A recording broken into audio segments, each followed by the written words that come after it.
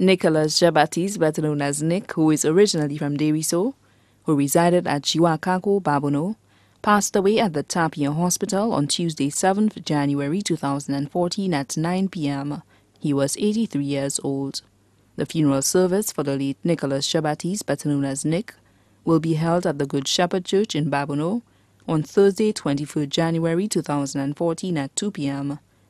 Then the body will be laid to rest at the family private cemetery in Babonneau. The body now lies at the Rampallis Funeral Parlor on Calvi Road, Castries.